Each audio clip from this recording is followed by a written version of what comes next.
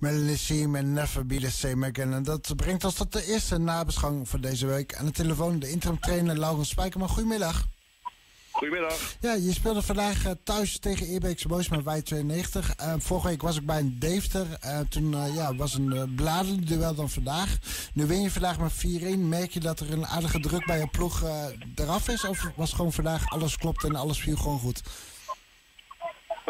Nou, we zullen niet bij druk inderdaad. Dat, dat vond ik inderdaad nog wel meevallen. We hebben gewoon de eerste helft heel goed gevoetbald. geduldig gevoetbald, mooi aan de zijkanten.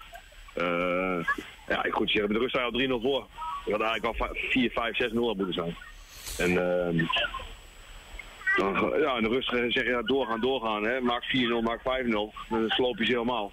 Uh, en dan toch ga je weer een beetje mee in hun niveau.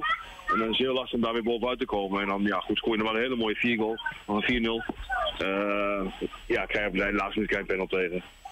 Dus uh, ja, dat is zonde. Maar goed, uh, een panel 4-1 tegen, sorry. Panel heeft gemist ervoor ja, daar, daar baal ik wel van. Moet ik met Ternko had absoluut niet gemogen. Maar goed, uh, wel blij met het resultaat en uh, nu ook officieel veilig. Dat vind ik wel belangrijk. Ja, want zeker dus daar ben je afgelopen weken met de ploeg zijn daar uh, naar op zoek die veiligheid. Want dit was nog steeds niet zeker, nu is het wel zeker. Ehm, dus lekker gewonnen, zeker omdat het spel voor jullie de afgelopen weken gewoon wel goed was. Maar ja, niet altijd even het resultaat bracht wat je hoopte.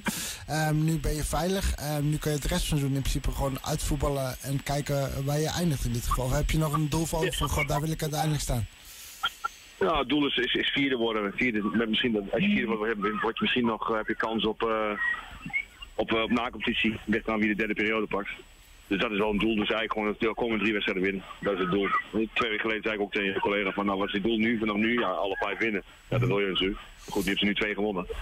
Die anderen wil ik ook gaan winnen. En dan uh, gewoon dus goed in de cel afsluiten.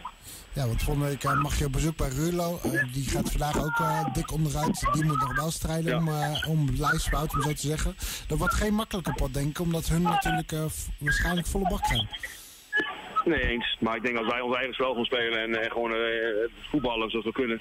Dan denk ik dat we het op Rulo heel moeilijk kunnen maken. En dan ben ik ook van overtuigd dat die drie punten gewoon mee naar de wij.